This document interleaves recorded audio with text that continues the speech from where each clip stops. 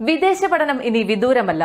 Fulfil your study abroad dreams through Dream Abroad educational consultants അച്ഛൻ ആഗ്രഹിച്ചത് അച്ഛന്റെ മകൾക്ക് ഒരു സപ്പോർട്ടീവ് ആയിട്ടുള്ള ഒരു ഭർത്താവ് അത് അവൻ കൊടുക്കുന്നുണ്ട് മനസ്സിലായോ ആ മനുഷ്യന്റെ കണ്ണുകൾ നിറയ്ക്കാൻ സംസാരിച്ചുകൊണ്ട് എനിക്ക് പറ്റി. അത്രയും നല്ലൊരു സ്ട്രോങ് ആയിട്ടുള്ള ഒരു മനുഷ്യൻ. അപ്പൊ ഞാൻ ചെന്നപ്പം ഇങ്ങനെ ഒരു സംഭവം നടന്ന പോലും ആയിട്ടൊരു ബിഹേവിയർ ഒന്നും ഇവരുടെ വീട്ടുകാർ ഭാഗത്തുനിന്നുണ്ടായില്ല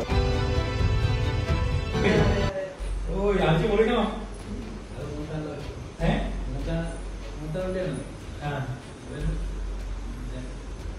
പെങ്ങളെ ആങ്ങളമാരുടെ പെങ്ങളവിടെ? എന്നും നമ്മളല്ലേ ഒളിച്ചോടേണ്ട ആവശ്യമുണ്ടായിരുന്നു അതൊരു നാടകമായിരുന്നു എന്നാണ് ഞാൻ കേട്ടത്. പിന്നെ എന്താണ് ഇങ്ങനെയൊക്കെയുള്ള വാക്കുകളൊക്കെ പറയുന്നത്? അച്ഛൻ ട്വന്റി ഡേയ്സ് ചോദിച്ചപ്പോഴാണെന്നറിയോ? ഞാൻ ഇവിടെ വിളിച്ചോണ്ട് വരുന്ന അമ്മ ചോദിക്കണേ. ഇരുപത് ദിവസം കൊണ്ട് ശരിക്കും നടക്കൂ എന്നൊക്കെയാണ് നമ്മൾ ചിന്തിക്കുന്നത്. പോസിബിൾ അല്ലാന്ന് തോന്നിയത് കൊണ്ടാണ് പിന്നെ അങ്ങനെ ഞാൻ അവൾക്ക് നിലപാടെടുക്കുന്നതിന് മുമ്പ് അവളുടെ പ്രായം ഞാൻ അതന്നെ ഉദ്ദേശിച്ചത്. ഞാൻ ഉദ്ദേശിച്ച ക്വസ്റ്റ്യൻ അത് തന്നെയാണ്. ഏത് വളച്ചിട്ട് പറഞ്ഞ ഞാൻ ഒറ്റയടിക്ക് പറഞ്ഞു. നിങ്ങളുടെ മകൾ ഒരാളെ ഇഷ്ടമെന്ന് പറഞ്ഞു കഴിഞ്ഞാൽ. Means ഒരു പത്ത് പഠിക്കുന്ന മകൾ വന്നിട്ട് ഇഷ്ടമെന്ന് പറയുന്നില്ലല്ലോ ഇരുപത് വയസ്സുള്ളത് പറയും. ഇരുപത്തൊന്ന് വയസ്സുള്ളത് പറയും. അവൾ സ്വന്തം കാലിൽ നിന്ന് അവൾക്ക് ശരിയും തെറ്റും മനസ്സിലാക്കാൻ പറ്റുമെങ്കിൽ അവൾ അങ്ങനെ ഒരു കാര്യം പറഞ്ഞാൽ ഞാൻ സമ്മതിക്കും. അല്ലാതെ ഇരുപത് വയസ്സ് പത്തൊമ്പത് വയസ്സാവും. അവൾക്ക് ജോലിയില്ല. പഠിച്ചുകൊണ്ടിരിക്കുമ്പോൾ ഏതെങ്കിലും ഒരുത്തിനെ പ്രേമിച്ചിട്ട് കെട്ടണമെന്ന് പറഞ്ഞാൽ അച്ഛനാവും ഞാൻ. പറ്റില്ല എന്ന് തന്നെ പറയും.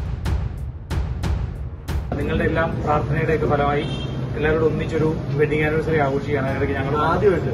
ആദ്യമായിട്ടാണ് ഈ അമ്മമാരൊക്കെയുള്ള ഫസ്റ്റ് വെഡിങ് ആനിവേഴ്സറി ആണ് കേട്ടോ.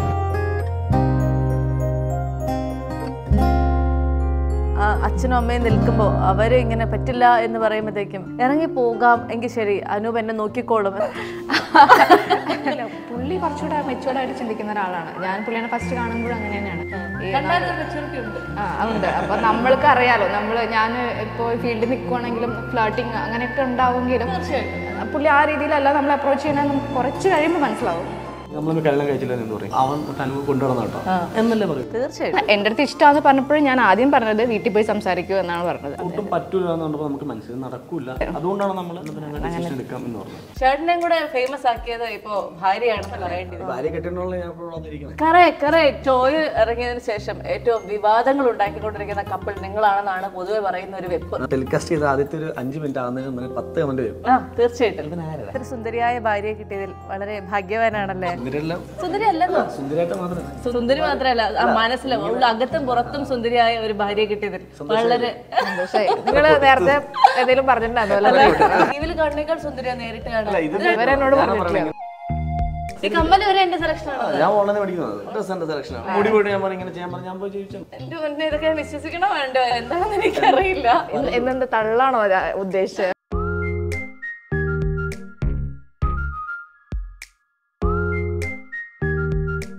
Darshana അനനു welcome to the show ice break with Veena thank you ഈ ഇത്ര സുന്ദരിയായ ഭാര്യയെ കിട്ടിയതിൽ വളരെ ഭാഗ്യവാനാണല്ലേ?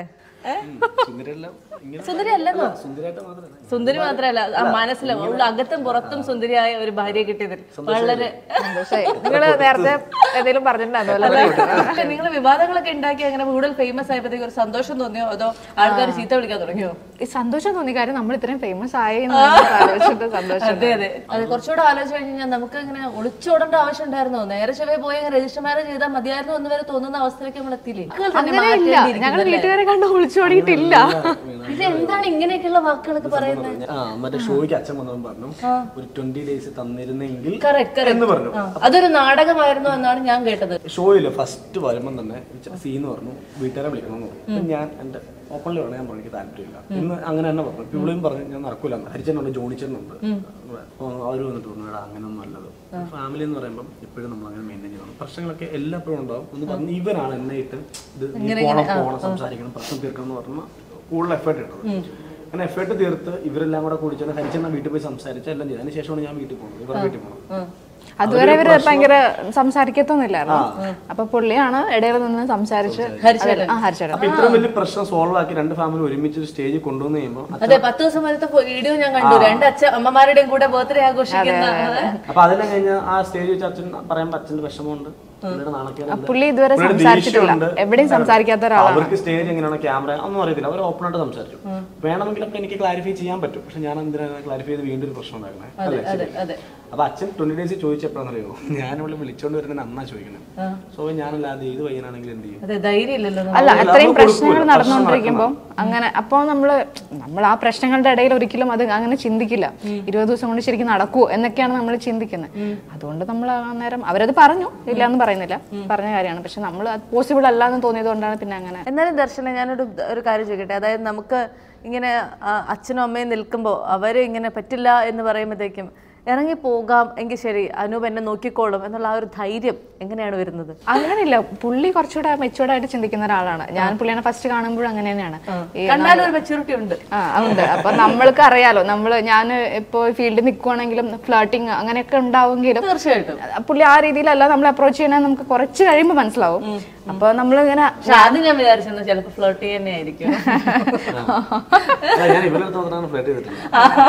അതിനുള്ള സമയം. പുള്ളി ആദ്യം എന്റെ സൈക്കോളജി പഠിച്ചു വെച്ചത് പുള്ളി പിന്നെ അങ്ങനെ എന്റെ അടുത്ത് വന്ന് സംസാരിച്ചത് അപ്പൊ ഞാൻ എന്റെ അടുത്ത് ഇഷ്ടമാണെന്ന് പറഞ്ഞപ്പോഴും ഞാൻ ആദ്യം പറഞ്ഞത് വീട്ടിൽ പോയി സംസാരിക്കൂ എന്നാണ് പറഞ്ഞത്. അങ്ങനെ പുള്ളി വീട്ടിൽ സംസാരിച്ചു. അല്ലാതെ ഞങ്ങളിവിടെ പ്രേമിച്ചുകൊണ്ട് നടന്നു അങ്ങനത്തെ പരിപാടിയൊന്നും ഇല്ലായിരുന്നു. ഞാൻ വീട്ടിൽ പോയി സംസാരിച്ചു നടക്കില്ല എന്ന് പറഞ്ഞു. ഞാൻ ഞാൻ ഇവിടെ അമ്മയുടെ പോയി സംസാരിച്ചു. ഇങ്ങനെ കാര്യങ്ങൾ സംസാരിച്ചു. സംസാരിച്ച് ഞാൻ പറഞ്ഞു എനിക്ക് ഒരു ടു ഇയർ സമയം വേണം എന്ന് പറഞ്ഞു. ഇവളും പറഞ്ഞു. പക്ഷെ അവിടുന്ന് പിന്നെ അങ്ങോട്ട് പ്രശ്നങ്ങൾ വന്നു കഴിഞ്ഞപ്പോഴത്തേക്ക് ഒട്ടും പറ്റൂല എന്ന് പറഞ്ഞപ്പോൾ നമുക്ക് മനസ്സിൽ നടക്കൂല എന്ന് എന്നുള്ള ധാരണ അതുകൊണ്ടാണ് നമ്മൾ എന്നാ പിന്നെ അങ്ങനെ ഡിസിഷൻ എടുക്കാം എന്ന് പറഞ്ഞു.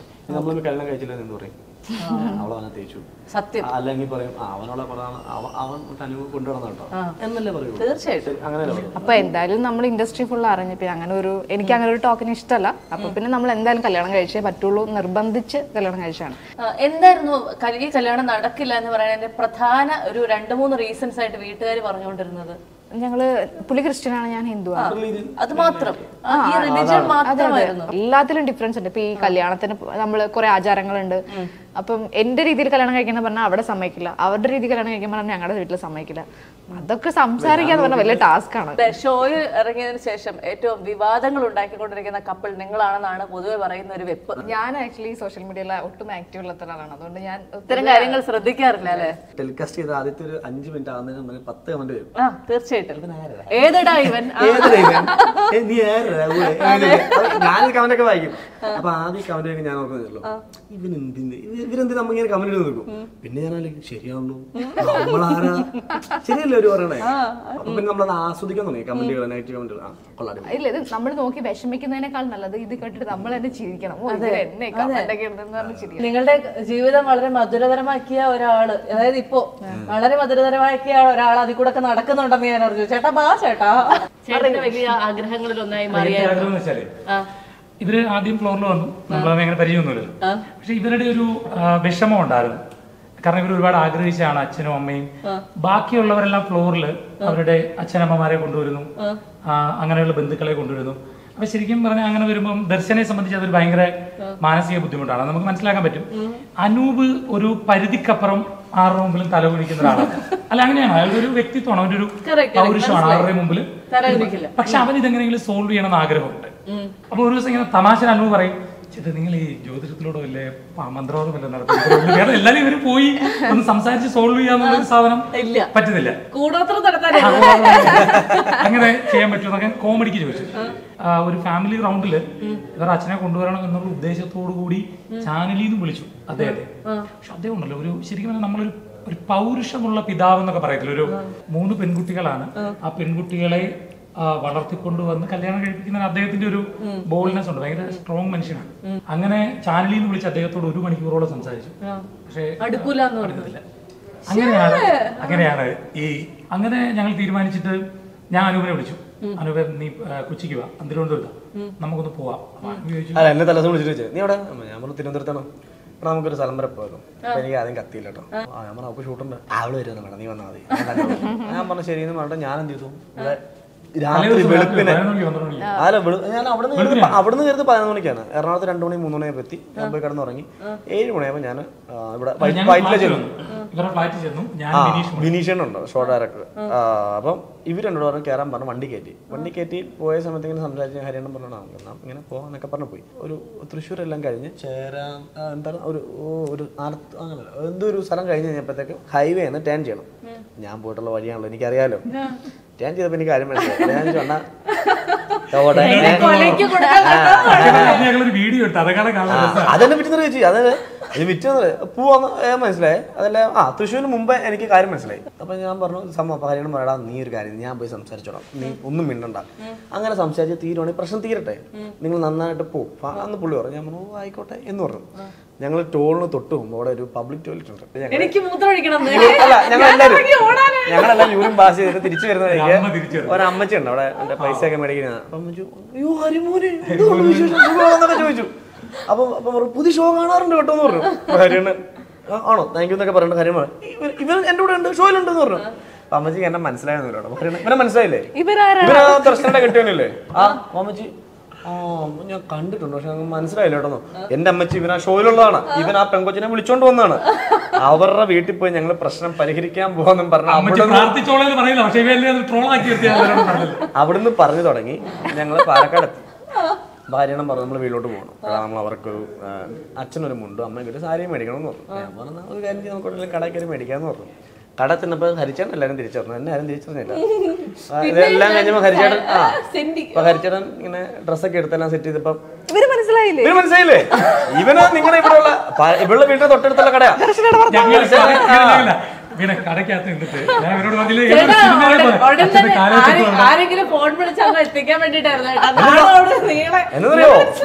സസ്പെൻസ് ആണ്. ഫാമിലി റൗണ്ടിൽ ഇവളറിയാതെ ഇവ- അവളുടെ അച്ഛനമ്മ സസ്പെൻസ് ആണ്. അപ്പൊ ബില്ലിയും പറയണേ ഇത് ആർക്കെന്നറിയാമോ? ഈ ഈ സാരി ഈ മുണ്ടാർക്കെന്നറിയാമോ ദർശനില്ലേ? ദർശന അച്ഛനും അമ്മയ്ക്കും. അയ്യോ ഇവരും ഭയങ്കര അടിയാ. ഞങ്ങൾ പറഞ്ഞ് സെറ്റ് ചെയ്യാൻ പോവാണ്. ഹരിയണ അഭിനയിച്ച് കാണിക്കാടാ. ചെന്ന ഉടനെ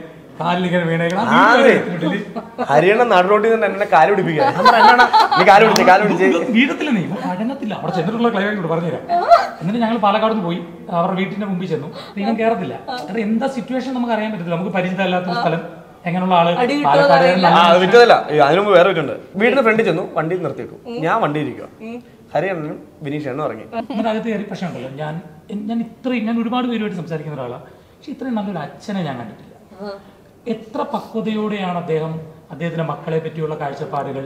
നമ്മൾ ഒന്നും പറയാൻ പറ്റാത്ത രീതിയിലാണ് അദ്ദേഹം സംസാരിക്കുന്നത്. കാരണം അത്രയ്ക്ക് പക്വമായി കുട്ടികളെ വളർത്തിക്കൊണ്ടുവരുന്ന ആ ഫ്ലോറിൽ വന്ന് അദ്ദേഹം പറഞ്ഞത് നിങ്ങൾ കേൾക്കണം. അതിനേക്കാൾ ഇപ്പൊ നമ്മളൊരു പേഴ്സണൽ ടോക്കിൽ അങ്ങനെ ആയിരിക്കില്ലല്ലോ. പക്ഷെ ഞാൻ ഇവരുടെ ജീവിതം നല്ലതുപോലെ മനസ്സിലാക്കി. ഈ അനൂപ് ഈ ദർശനെ നല്ലവണ്ണം നോക്കും. സത്യം പറഞ്ഞ ഇത് ഈ കുട്ടി അല്ല നിന്നെ കുറിച്ച് പറയാൻ ഞാനൊരു കാര്യം പറയാം കേട്ടോ. ഈ ഇത് ഈ കുട്ടിക്കെതിരെ എന്തൊക്കെയോ. ഈ ദർശനക്കെതിരെ എന്തൊക്കെയോ നെഗറ്റീവ് കമന്റ്സ് ഒക്കെ വന്നു എന്നൊക്കെ പറയും. പക്ഷെ ഇത് കമന്റ് ഇടുന്നവർ മനസ്സിലാക്കണം. ഈ ഞാൻ ഒരുപാട് കുടുംബത്തിന്റെ കഥ കേൾക്കുന്ന ആളാണ് പലപ്പോഴും കല്യാണം കഴിച്ചിട്ട് ഈ പെൺകുട്ടികൾ ചെല്ലുമ്പോൾ ഈ ഭർത്താവിന്റെ അച്ഛനമ്മമാരുമായിട്ട് അത്രയും ഒരു ഫ്ലെക്സിബിൾ ആകാറില്ല. പക്ഷെ ഈ കുട്ടിയാണ് ഇവരുടെ വീട്ടിൽ ചെന്നിട്ട് കുടുംബം എന്താണ് എന്നിവനെ പഠിപ്പിച്ചത്. ഇവരുടെ അമ്മയ്ക്ക് ഒരു അസുഖം വന്നാൽ ഇവനേക്കാൾ കൂടുതൽ വിഷമിക്കുന്നത് ദർശനയാണ്. നിങ്ങൾ പറഞ്ഞ് വിശ്വസിക്കൂ. സീരിയസ്ലി പറയാണ്. ആദ്യത്തെ ഒരു മൂന്ന് മാസത്തിനുള്ളിൽ അത് കല്യാണം അതെ സംഭവിച്ചെങ്കിൽ ഞാനിത് പറഞ്ഞാൽ ഞാൻ പറഞ്ഞത് ഉവ്വ ഇതൊക്കെ ഞാൻ കുറെ കണ്ടിട്ടുണ്ട്. വർഷം മൂന്നായതുകൊണ്ട് ഞാൻ സംഭവിച്ചു അമ്മയ്ക്ക് അങ്ങനെ ചെയ്യണം അമ്മയെ കാണാൻ പോകണം? ഞാൻ പറഞ്ഞ ആക്ട്രസ് എന്നുള്ള നിലയിൽ ഒരു നല്ല വീട്ടമ്മ നല്ലൊരു അമ്മ. ഇതൊക്കെ മനസ്സിലാക്കിയിട്ടാണ് ഞാൻ പോകുന്നത് ഇതൊക്കെ മനസ്സിലാക്കിയിട്ട് വെറുതെ പോകുന്നില്ല. ദർശനയാണ് അവരുടെ ഇവന്റെ അമ്മയെ നോക്കണമെന്നോ അമ്മയെ കാണണം എപ്പോഴും പോകണം എന്ന് പറയുന്നത് റയറാണ് എനിക്ക് തോന്നുന്നില്ല. എന്നിട്ട് അങ്ങനെ പോയി സംസാരിച്ചപ്പോൾ ഞാൻ ഈ ദർശനയുടെ കാര്യം പറഞ്ഞു. അതുപോലെ അനൂപും ഈ ദർശൻ ഭയങ്കര തിരക്കുള്ള ഒരാളാണ്.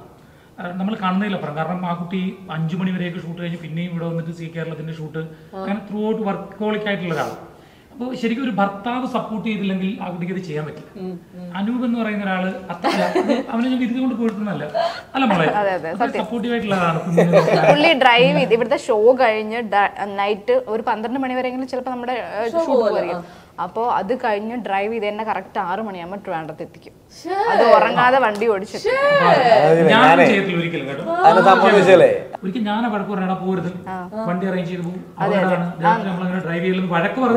വണ്ടി പോയിട്ടോ കയ്യിൽ പോയി. പക്ഷെ ഒന്നും പറ്റില്ല അപ്പൊ അങ്ങനത്തെ ഒരു ഭർത്താവ്. അപ്പൊ ഞാൻ അച്ഛനോട് പറഞ്ഞ അച്ഛാ അച്ഛൻ ആഗ്രഹിച്ചത് അച്ഛന്റെ മകൾക്ക് ഒരു സപ്പോർട്ടീവ് ആയിട്ടുള്ള ഒരു ഭർത്താവ് അവളെ വേദനിപ്പിക്കാത്ത ഭർത്താവ് നല്ലതുപോലെ നോക്കുന്ന ഒരു ഭർത്താവല്ലേ അച്ഛൻ അത് അവൻ കൊടുക്കുന്നുണ്ട്. അച്ഛന്റെ ആഗ്രഹം അതാണ്. പിന്നെ അച്ഛൻ പറയുന്ന എല്ലാം നൂറ് ശതമാനം ശരിയാണ്. അപ്പൊ അതെല്ലാം സംഭവിച്ചു പോയി. അങ്ങനെ പറഞ്ഞു പറഞ്ഞു പറഞ്ഞ് രണ്ട് മണിക്കൂറാണ് എടുത്തതെന്ന് ഓർത്തോണം അദ്ദേഹത്തിന്റെ കണ്ണ് നിറച്ചു. മനസ്സിലാക്കണം ആ മനുഷ്യന്റെ കണ്ണുകൾ നിറയ്ക്കാൻ സംസാരിച്ചുകൊണ്ട് എനിക്ക് പറ്റി. അത്രയും നല്ലൊരു സ്ട്രോങ് ആയിട്ടുള്ള ഒരു അപ്പൊ ഇനി ഇപ്പോഴൊക്കെ ഈ പറയുന്ന കഥ അനുഭവം വണ്ടിയിലാണ്. ഇതെല്ലാം കഴിഞ്ഞ് എന്നെ വിളിച്ചു. ഇവർ സംസാരിച്ചോ കൂടായിട്ടിരുന്ന് അപ്പൊ ഞാൻ അവിടെ തന്നെ നടക്കൂല. അപ്പൊ ഇവർ വരും. വണ്ടി എടുത്തോണ്ട് പോകാൻ പറ്റില്ല ഞാൻ വണ്ടിക്ക് എല്ലാം കഴിഞ്ഞ് ഇവർ വിളിച്ചു. അപ്പൊ അച്ഛനുണ്ട് അമ്മയുണ്ട്.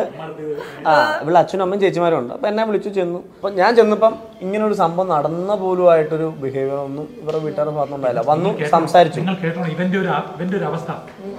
ഇവനോട് ഞാൻ പറയടാ ഇവൻ തൊട്ടപ്പുറത്ത് വന്നിരുന്നു ബസ്സിലൊക്കെ പിടിച്ച്. ഇങ്ങനെ ഇങ്ങനെ കുത്തുവാ അപ്പുറം അച്ഛനെ കെട്ടിപ്പിടിയടാ കെട്ടിപ്പിടിയടാ. ഇവരെ കൊണ്ട് മടി കെട്ടിപ്പിടിക്കാൻ. അവസാനം ഒരു വിധത്തിൽ എന്ന് വെച്ചാൽ മടി എന്ന് വെച്ചാൽ എത്ര വർഷം അല്ലെ അതിനേക്കാൾ ദർശനയുടെ സഹോദരിമാര് ഫസ്റ്റ് ടൈം കാണുകയാണ് ഇവനെ. ഇതുവരെ കണ്ടിട്ടേ ഇല്ല ആലോചിച്ച് ദർശനയുടെ സഹോദരിമാർ ആദ്യമായി അനൂപ് എന്ന് പറഞ്ഞൊരു വ്യക്തിയെ നേരിട്ട് കാണുക മൂന്ന് വർഷങ്ങൾക്ക് ശേഷം അല്ല അവർ കണ്ടിട്ടേ കണ്ടിട്ടില്ല ലൈഫിലെ കണ്ടിട്ടില്ല. അതിന് മുമ്പും കണ്ടിട്ടില്ല. ഇങ്ങനെ ഒരു വ്യക്തിനെ നേരിട്ട് കാണുന്നു. അവരെല്ലാം കരഞ്ഞു. ആ, അറിയാം അറിയാം. അവരെല്ലാം കരഞ്ഞു. കുറച്ച് കഴിഞ്ഞപ്പോ കൊണ്ട് വിനീഷ് കുത്തിയിരുന്ന കരയും. ഞാൻ മാത്രമേ ഉള്ളൂ കരയാ എല്ലാവരും കരച്ചിലെത്തുമ്പോ അവിടെ. അല്ല ഞങ്ങളെല്ലാം കഴിഞ്ഞു. ഞാനും. എല്ലാവരും കരച്ചിൽ ഞാൻ കരച്ചില്ല ഞാൻ അപ്പം അപ്പം ബാക്കി എല്ലാവരും ഇതാക്കിയ ഇമോഷൻ എല്ലാം കഴിഞ്ഞു എല്ലാം കഴിഞ്ഞപ്പോഴത്തേക്ക് അവർ കുടിക്കാൻ വെള്ളമല്ല അല്ലെ വെള്ളം എന്താ കൊണ്ടുപോകും കൊണ്ടുവന്ന് കഴിഞ്ഞപ്പോൾ കുറച്ച് ശബ്ദം കേൾക്കാം ഞാൻ അപ്പൊ ഹരിയാന എന്നോട് ഇങ്ങനെ വരുന്ന എന്താണ് ഞാൻ അപ്പുറം വിനീഷ് ചേട്ടാ. ഇങ്ങനെ വിനീഷ് ഭയങ്കര ഇമോഷൻ ആയിരുന്നു ഹരിച്ചേട്ടൻ ഇമോഷണൽ ഹരിച്ചൻ നല്ല രീതിയിൽ ഇമോഷണലായി ഹരിച്ചൻ ഭയങ്കര ഇമോഷണലായി ഹരിച്ചന്റെ കണ്ണൊക്കെ നിറഞ്ഞ് അടുക്കള- ലാസ്റ്റ് ഹരിച്ചന്റെ കൈ കൈവിട്ട് പോയെ. ഹരിച്ചന് അതായത് പറഞ്ഞിട്ട് പോണോ അവിടെ ഇരിക്കണോ സംസാരിക്കണോ എന്ത് ചെയ്യണമെന്ന് അറിയത്തില്ല രവി. ഇവരെല്ലാം ഭയങ്കര ഇമോഷണൽ ആയി പോയി. അപ്പൊ ഇറങ്ങിയപ്പോഴാണ് ഹരിച്ചനും വിനീഷനും പറഞ്ഞാ ഇങ്ങനെയുള്ള മൊമെന്റ്സ് ഒക്കെ എന്ന് പറയുമ്പോൾ കാണുന്നവർ അങ്ങനെ എടുക്കുന്ന അറിയില്ല. പക്ഷെ നമ്മൾ അവിടെ ചെന്നിട്ട് ആ ഒരു സീൻ വരുമ്പോൾ നമുക്ക് ഭയങ്കര ടച്ച് ആണ്. മനസ്സിൽ ഭയങ്കരമായിട്ട് ടച്ച് ചെയ്യുന്നത്. ഞാൻ എക്സ്പീരിയൻസ് ഉണ്ട്. ഞാൻ ഒരുപാട് പ്രശ്നങ്ങളിൽ ഇടപെട്ട് ഇങ്ങനെ സംസാരിച്ച് സോൾവ് ചെയ്തതാണ്. എന്റെ ഒരു പ്രൊഫഷനുമായി റിലേറ്റഡ് ഞാൻ ചുമ്മാ വെറുതെ വരുന്ന ആളുകളോട് എന്തെങ്കിലും പറഞ്ഞിട്ട് അവരെ വിടുകയല്ല. അവരുടെ ഫാമിലിയിൽ അങ്ങനെ ഇഷ്യൂ ഉണ്ടെങ്കിൽ അതിൽ ഇടപെട്ട് സംസാരിച്ച് ഒത്തിരി സോൾവ് ചെയ്തിട്ടുണ്ട്. എന്നിട്ട് ഇവർ അച്ഛന്റെ സംസാരത്തിൽ നിന്ന് ഞാൻ മനസ്സിലാക്കിയ ഒരു കാര്യം. മന്നാടിയാർ എന്ന് പറയുന്ന തൃശ്ശൂർ ഒരു ഹോട്ടലുണ്ട്. ആ. ഹോട്ടലിന് ഓണർ ഓണർ ഇവരുമായിട്ട് വളരെ അടുപ്പമാണ്. അപ്പൊ എനിക്കൊന്ന് ഈ ദർശനം പോയി കഴിഞ്ഞാൽ അവർക്കുണ്ടായ മാനസികമായ പ്രശ്നത്തിൽ ഏറ്റവും കൂടുതൽ സപ്പോർട്ട് ചെയ്തത് ഈ മന്നാടിയാർ ഹോട്ടലിന്റെ ഓണർ ഒരു മനുഷ്യനാണ്. അവരുടെ വീട്ടിലായിരുന്നു നമ്മൾ താമസം അപ്പം അത് അദ്ദേഹം ഭയങ്കരമായിട്ട് സപ്പോർട്ട് ചെയ്തു. അപ്പൊ ഇവരുടെ സംസാരത്തിൽ മൊത്തം അദ്ദേഹം കൊടുത്ത ഒരു മെന്റൽ സപ്പോർട്ടിനെ പറ്റി പറഞ്ഞു. അപ്പൊ ഞങ്ങളുടെ അടുത്ത സൈക്കോളജിക്കൽ മൂവ് എന്ത് പറയുക തിരിച്ചു വരുമ്പോൾ അദ്ദേഹത്തെ കാണുക. അങ്ങനെ ഞങ്ങൾ തിരിച്ചു വന്ന് ഹോട്ടലിൽ കയറി. ഹോട്ടലിൽ ഹോട്ടലാണ് അത്. അവിടെ നോൺ വെജ് കഴിക്കണം. അങ്ങനല്ല ഞങ്ങൾ ആദ്യം രാവിലെ പോയപ്പോ മസാല ദോശയാണ് കഴിച്ചിട്ട് പോയത്.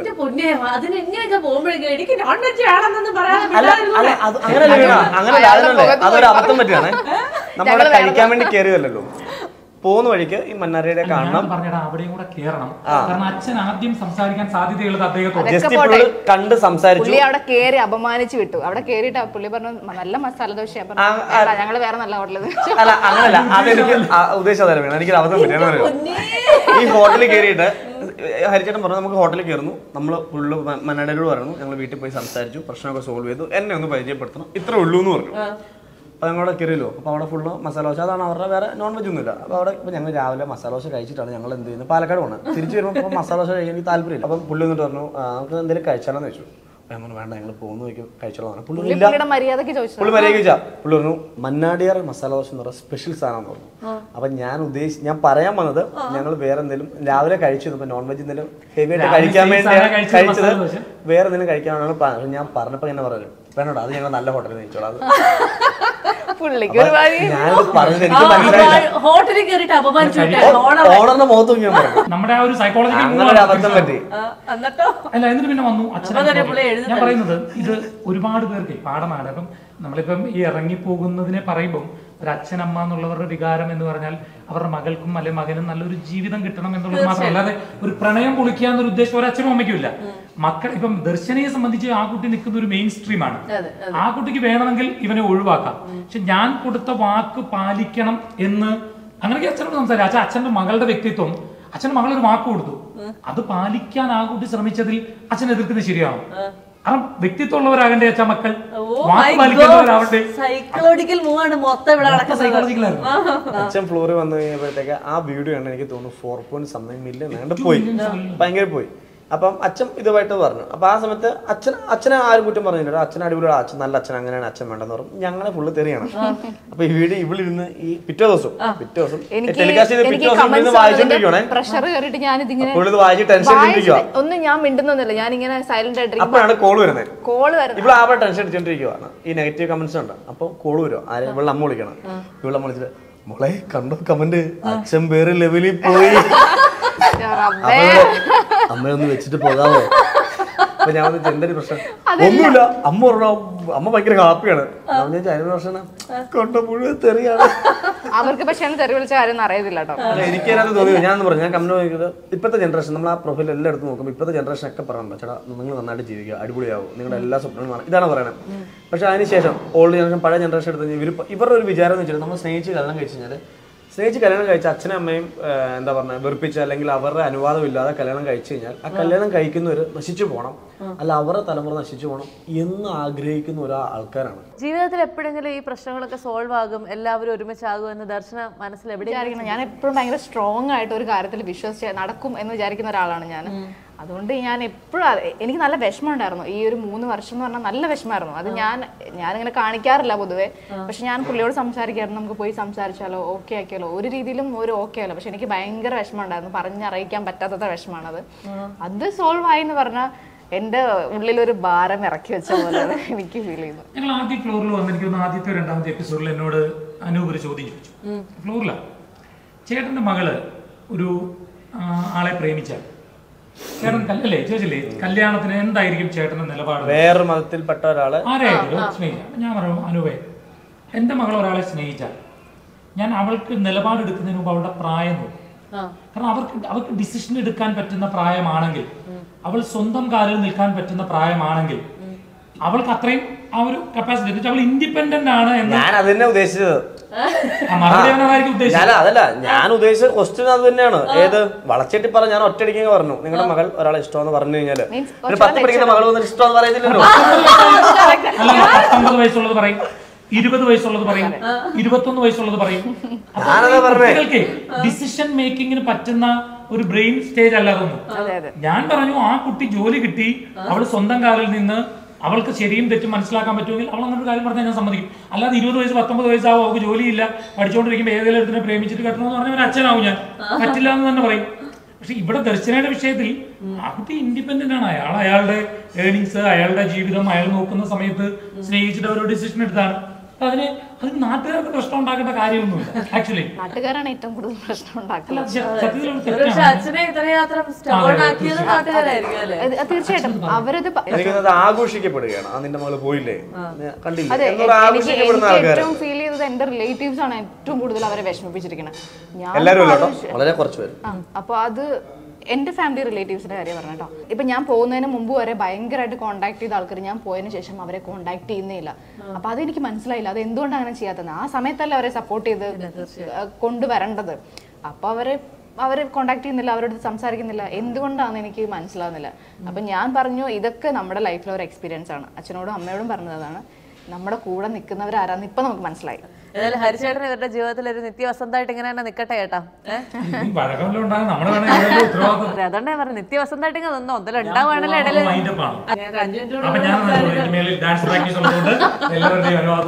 അങ്ങനെ അത് കഴിഞ്ഞ് ഇപ്പോ തിരിഞ്ഞു നോക്കുമ്പോഴത്തേക്കും ചെയ്യുന്നതെല്ലാം ശരിയായിരുന്നു. ജീവിതത്തിലെ ഏറ്റവും പെർഫെക്റ്റ് പാർട്ട്ണറെയാണ് കിട്ടിയത് എന്നുള്ള ഒരു ഒരു കോൺഫിഡൻസ് ഉണ്ടോ? അതെ പെർഫെക്റ്റ് എനിക്ക് എനിക്ക് പറ്റിയ പാർട്ണർ തന്നെയാണ്. ഞങ്ങൾ രണ്ടുപേരും ഏകദേശം എല്ലാ കാര്യങ്ങളൊക്കെ ഒരുപോലെയാണ്. അലമ്പ് കാണിക്കാനും കള്ളത്തരം കാണിക്കാനും ഒക്കെ ഞങ്ങൾ ഒരുപോലെയാണ് അതുകൊണ്ട് എനിക്ക് കറക്റ്റ് ആയിട്ടുള്ള ഒരാളെ തന്നെ എനിക്ക് കിട്ടിയത്. എല്ലാ കാര്യത്തിലും. തിരിച്ചാ? എനിക്കും അങ്ങനെ തന്നെ. അങ്ങനെ ഏതായാലും ജീവിതമൊക്കെ വളരെ സന്തോഷകരമായിട്ട് മുന്നോട്ട് പോകുന്നു. ജീവിതത്തിൽ ഏറ്റവും വലിയൊരു ടേണിംഗ് പോയിന്റ് ആയിട്ട് ഒരു റിയാലിറ്റി ഷോ മാറും എന്നൊക്കെ വളരെ കുറച്ച് ആൾക്കാരുടെയാണ് ഞാനിങ്ങനെ കണ്ടിട്ടുള്ളത്. ഇപ്പൊ പേളി മാണിയുടെ ഒരു റിയാലിറ്റി ഷോ ജീവിതം മാറ്റിമറിച്ച ഒരാളാണ്. ഇപ്പൊ നിങ്ങൾ രണ്ടാൾക്കാര്. കല്യാണം കഴിച്ചതൊക്കെ മുൻപേ ആണെങ്കിലും രണ്ട് വീട്ടുകാരെ ഒരുമിപ്പിക്കാനായിട്ട് ഞാനും എന്റെ ആളെന്ന് പറയുന്ന സി ടി വിയിൽ ഒരു റിയാലിറ്റി ഷോയ്ക്ക് ഷോയിൽ ഞങ്ങൾ ഭയങ്കര കോമ്പറ്റീഷൻ ആയിരുന്നു ഞാൻ ചോദിച്ചു കേട്ടോ. കോമ്പറ്റീഷൻ ആണോ? കോമ്പറ്റീഷൻ അപ്പൊ ഇതിന്റെ ഒരു തമിഴോ തെലുങ്ക് കന്നഡ എന്ത് സംഭവമുള്ളൂ അവിടെ വേറെ ഒരു ഇതിലാണ് പാറ്റേൺ ആണ്. അങ്ങോട്ടും ഇങ്ങോട്ടും ചെറിയ പ്രശ്നങ്ങൾ വഴക്കുകളൊക്കെ ഉണ്ടാകും. അപ്പൊ ഞാൻ വിചാരിച്ചു, അങ്ങനെയാണോ? അങ്ങനെ നമുക്കൊരു ബുദ്ധിമുട്ടാണല്ലോ കാരണം ഇത് ഷായിച്ചിട്ടുണ്ട് ഞാൻ ഒരു ഗെയിം ഒക്കെ ആയിരിക്കും. അങ്ങനെയൊക്കെ വിചാരിച്ചു. പക്ഷെ ഇവിടെ വന്നിട്ട് പക്ഷേ ഇവിടെ വന്നിട്ടല്ലേ ബാക്കി ഏഴ് പേര് ഏഴ് കണ്ടസ്റ്റന്റ് ഉള്ളൂ ഏഴ് പേര് ഫാമിലി ഭയങ്കര ഞങ്ങൾ ഭയങ്കര അറ്റാച്ചഡ് ആയിപ്പോയി. എല്ലാവരും ഭയങ്കര അറ്റാച്ചഡ് ആയിപ്പോയി. ഞങ്ങൾ അങ്ങനെ ഒരു മത്സരമോ ഷോ അങ്ങനെ ഞങ്ങൾ ഭയങ്കര ഇതാണ്. ഭയങ്കര എൻജോയ് ചെയ്തൊരു സമയമാണ്. ഈ ഒരു മൂന്ന് മാസം ഇത്ര എപ്പിസോഡ് പെട്ടെന്ന് തീരുവാണല്ലോ എന്നൊരു വിഷമമുണ്ട്. എല്ലാവരും ആദ്യമൊക്കെ ഡാൻസ് കളിക്കുന്ന സമയത്തെ എനിക്ക് ഡാൻസ് കളിക്കാറില്ല ഒട്ടും ഡാൻസ് കളിക്കാറില്ല ഫുള്ള് തെറ്റിക്കും. അപ്പം അത് ഭയങ്കര ബുദ്ധിമുട്ടായിരുന്നു. അങ്ങനെ നാണക്കേടൊക്കെ ആയിരുന്നു. ആദ്യത്തെ രണ്ട് ഡാൻസ് കഴിഞ്ഞപ്പോൾ നമുക്ക് പിന്നെ ഡാൻസ് കളിക്കണോ? ഓ കളിക്കണോ? കളിക്കണോ തെറ്റിക്കണോ? തെറ്റിക്കും. നമുക്ക് തെറ്റിക്കുന്നില്ല പക്ഷെ ആ ഒരു ഇതൊക്കെ അങ്ങ് പോയി. എല്ലാവരും ഭയങ്കരമായിട്ട് പ്രത്യേകിച്ച് അങ്ങനെ ഏതായാലും അങ്ങനെ ഭയങ്കര ഫ്രീ ആവാനായിട്ട് ഒരു റിയാലിറ്റി ഷോ കൊണ്ട് സാധിച്ചു. ജീവിതത്തിൽ ഒത്തിരി ഒത്തിരി മാറ്റങ്ങൾ കൊണ്ട് ഉണ്ടായി. അപ്പൊ ഇങ്ങനെയുള്ള ഈ ഒരു സന്തോഷ സ്നേഹവും പോസിറ്റീവ് വൈബ്സും ഒക്കെ എല്ലാ കാലത്തും ഇങ്ങനെ നിലനിൽക്കട്ടെ. ഇനി ഒത്തിരി കാലങ്ങൾക്ക് ശേഷം. ഇനി ഒരു പുതിയ റിയാലിറ്റി ഷോയ്ക്ക് വിളിച്ചു കഴിഞ്ഞാൽ രണ്ടുപേരും ധൈര്യമായിട്ട് പോവോ? ഇനി ഒരു റിയാലിറ്റി ഷോ അതെ. ഇത് സ്വഭാവം അനുസരിച്ച് നോക്കും. ഷോ എങ്ങനെയാണെന്ന് അറിഞ്ഞിട്ട് അല്ലെ? ദർശന സീരിയലിൽ സജീവമായിട്ടുണ്ടാകും തീർച്ചയായിട്ടും. നമ്മുടെ ആഗ്രഹങ്ങളും സ്വപ്നങ്ങളും ഒക്കെ പൂവണിയട്ടെ. All the very best thank you so much അപ്പൊ ഞങ്ങൾക്ക് പറയാനുള്ളത് ചേച്ചിയുടെ ഇന്റർവ്യൂസ് ഒക്കെ ഞങ്ങൾ കാണാറുണ്ട്. നല്ല അഭിപ്രായമാണ്. എന്നും ഇതുപോലെ തന്നെ നിൽക്കുക. ഇങ്ങനെ ഒരു മാറ്റം ഉണ്ടാവാതെ അതൊന്നും നോക്കേണ്ട കാര്യമില്ല. ഞാൻ ആദ്യത്തെ ഒക്കെ എടുത്ത് ഞാൻ നോക്കുമ്പോ ഞാനും കമന്റ്സ് വായിക്കായിരുന്നു. പക്ഷെ ഇങ്ങനെ നിൽക്കുന്നതായിരിക്കാം എനിക്ക് തോന്നുന്നു ഈ ഒരു ചാനലിന്റെ അത് മാത്രമല്ല ചില ഡിസിഷൻ ബോൾഡായിട്ട് എടുക്കാൻ പറ്റാറില്ല അല്ലേ? ആ ചില ഡിസിഷൻ നിങ്ങൾ ബോൾഡായിട്ട് എടുത്തിട്ടുണ്ട്. അത് അതിനാണ് അതെ അതെ. ഇങ്ങനെ തന്നെ എല്ലാവരുടെ അടുത്തും ഇങ്ങനെ തന്നെ ഇരിക്കണം. അതെ അതെ. എല്ലാ കാലത്തും അങ്ങനെയൊക്കെ ആവാൻ നമുക്ക് സാധിക്കട്ടെ. All the very best thank you so much അപ്പോൾ okay thank you thank you വിദേശ പഠനം ഇനി വിദൂരമല്ല. Fulfil your study abroad dreams through Dream Abroad educational consultants